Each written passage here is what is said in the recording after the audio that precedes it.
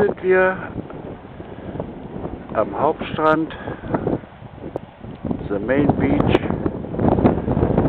Langeoog, and we have a nice weather today. Wir haben ein schönes Wetter heute.